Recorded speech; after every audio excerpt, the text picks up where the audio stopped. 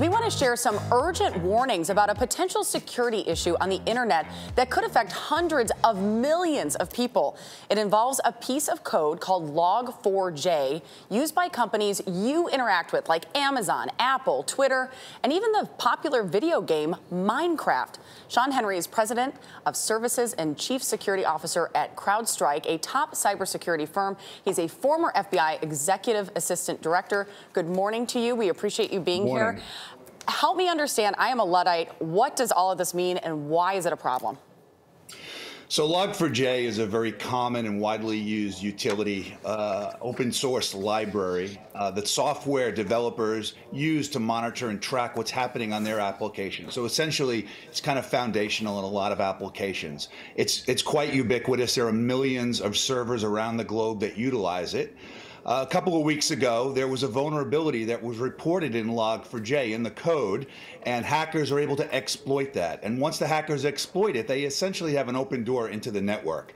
Um, and because this is used so frequently around the world, once hackers get a foothold into the enterprise, they really have uh, uh, open open day within the environment. They've got access to data. They can exfiltrate data. So it's really quite significant and a major concern for companies around the globe.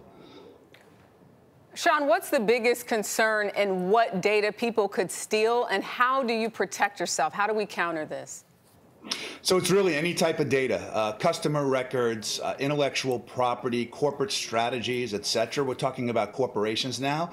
But adversaries, once they have access, they also can do things like deploy ransomware. Uh, once they've got that open door, it's really this uh, uh, the sky's the limit. They've got access to anything in that environment. We see adversaries uh, leveraging these these opportunities. We see nation states that are targeting corporations and government agencies looking for ways in uh, so that they can utilize their skills to get to the most important data that they can either use from a financial perspective or from a national security perspective.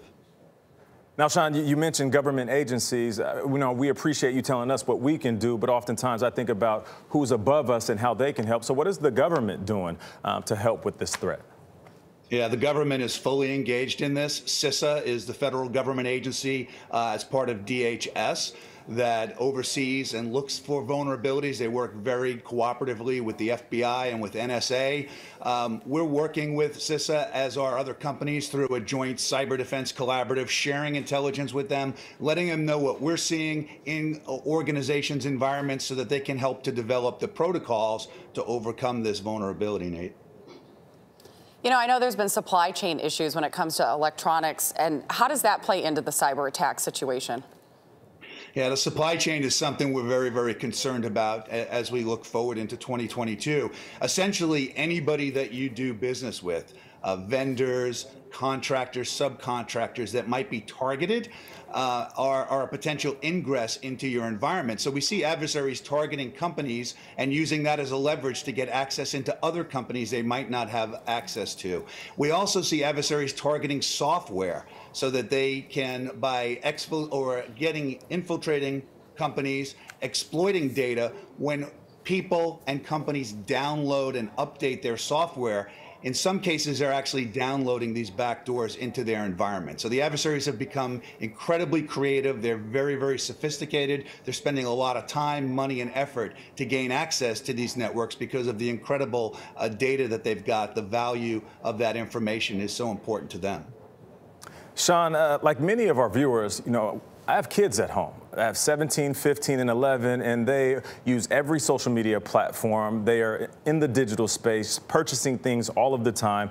And I'm usually um, a little bit hesitant to give them my credit card or allow them to do things. So, what should I be telling my kids, and what can the viewer be telling their family members that are using the internet like we all are?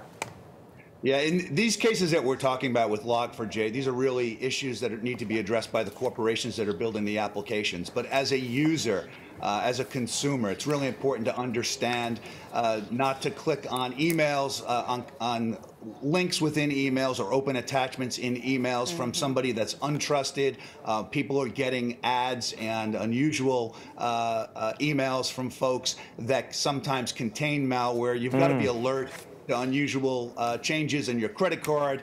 Um, it, you know, the consumer needs to be aware that adversaries are, are targeting them on a regular basis because of the value of the type of information that they've got access to, Nate. Shawn Henry, this information is so valuable. Thank you so much for joining us.